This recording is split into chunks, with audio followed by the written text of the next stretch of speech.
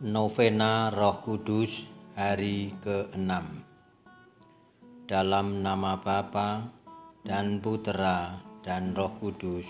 Amin. Marilah berdoa. Ya Tuhan Allah, kami merenungkan segala pekerjaan-Mu dan memikirkan perbuatan tangan-Mu. Kami menadahkan tangan kepadamu Jiwa kami haus kepadamu, seperti tanah yang tandus. Kepadamulah kami percaya. Beritahukanlah jalan yang harus kami tempuh. Ajarlah kami melakukan kehendakmu, sebab engkaulah Allah kami. Kiranya rohmu yang baik itu menuntun kami dengan pengantaraan Kristus Tuhan kami. Amin. Inilah Injil Yesus Kristus menurut Markus. Dimuliakanlah Tuhan. Pada suatu kali, ketika Yesus mengajar di Bait Allah, Ia berkata, "Bagaimana ahli-ahli Taurat dapat mengatakan bahwa Mesias adalah anak Daud.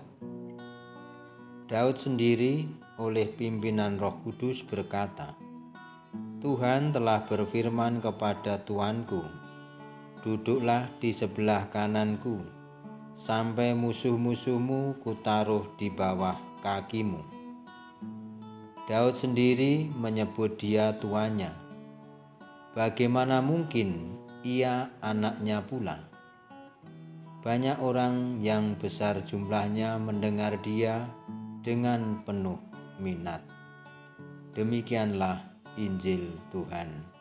Terpujilah Kristus. Doa mohon tujuh karunia. Datanglah ya roh hikmat, turunlah atas diri kami, ajarlah kami menjadi orang bijak terutama agar kami dapat menghargai, mencintai, dan mengutamakan cita-cita surgawi, dan semoga kami Kau lepaskan dari belenggu dosa ini.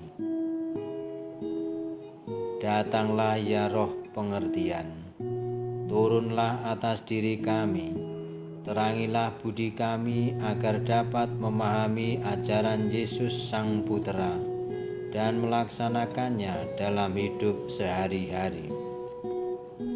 Datanglah ya roh nasihat, dampingilah kami dalam perjalanan hidup yang penuh gejolak ini. Semoga kami selalu melakukan yang baik dan menjauhi yang jahat. Datanglah ya roh keperkasaan, kuatkanlah hambamu yang lemah ini, agar tabah menghadapi segala kesulitan dan derita. Semoga kami kau kuatkan dengan memegang tanganmu yang senantiasa menuntun kami. Datanglah ya roh pengenalan akan Allah. Ajarlah kami mengetahui bahwa semua yang ada di dunia ini sifatnya sementara saja. Bimbinglah kami agar tidak terbuai oleh kemegahan dunia. Bimbinglah kami agar dapat menggunakan hal-hal duniawi untuk kemuliaan-Mu. Datanglah ya roh kesalehan, bimbinglah kami untuk terus berbakti kepadamu. Ajarilah kami menjadi orang yang tahu berterima kasih atas segala kebaikanmu dan berani menjadi teladan kesalehan bagi orang-orang di sekitar kami. Datanglah ya roh takut akan Allah.